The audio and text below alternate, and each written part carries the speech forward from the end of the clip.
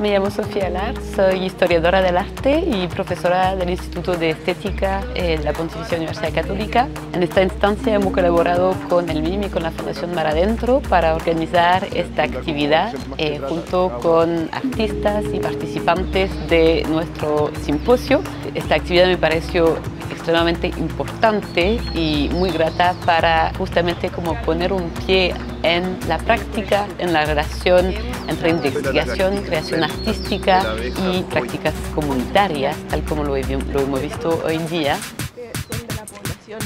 Soy Lisa Blackmore, soy profesora de la Universidad de Essex en el Reino Unido. Hemos estado hoy recorriendo el museo y sus jardines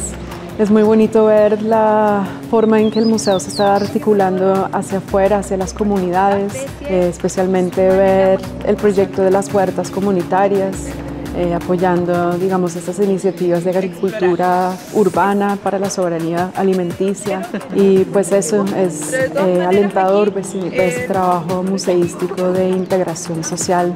y pues creemos que tiene un gran valor.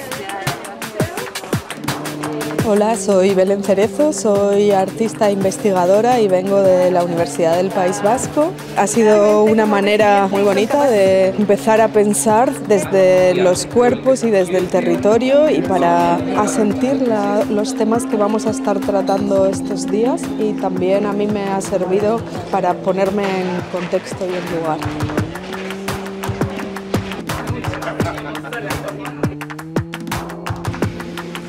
Soy Ana María Risco, soy académica de la Universidad Alberto Hurtado, del área de, las artes, me ha parecido como una muy